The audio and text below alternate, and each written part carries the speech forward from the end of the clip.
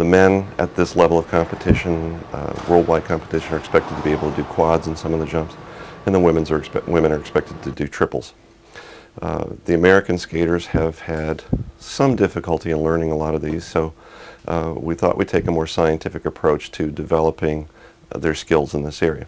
We collect their data on a computer, so we capture their motion, and we recreate a mathematical image of the body. The mathematical image is one that we can manipulate. So as the skater leaves the ice and moves into the air, uh, their goal is to get into a position that allows them to spin as fast as possible. And then that enables them to complete the maximum number of rotations while they're in the air. We can take the skater's position in the air we can change their arm positions, we can change their leg positions, we can change their head positions, and then run the computer program back through and let it perform the jump as if that's what the skater did. This is not only the only place it's happening in the U.S., it's the only place that this is being done in the world that we're aware of. There's, there's no, nothing else like this.